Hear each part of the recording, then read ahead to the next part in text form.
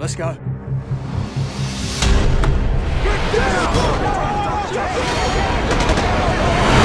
Let's get some strippers! I want to talk to you guys about some business. Something big. Who you want to kidnap? It's got to be stinking rich. Safety's a little edgy on that. We're gonna do this. We do it now.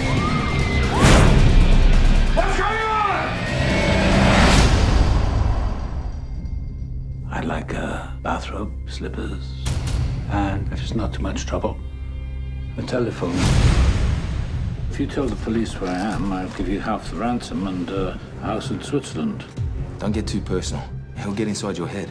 You know that what you're doing is completely stupid.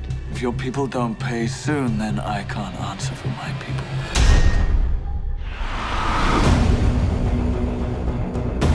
What the hell did you do?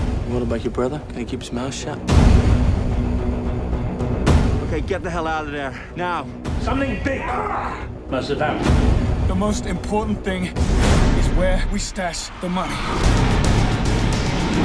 The cops are gonna figure out there's a bunch of local jerk-offs and they're gonna nail us flat. Don't wait out of there before it's too late. Come on, kill me. Pull the trigger.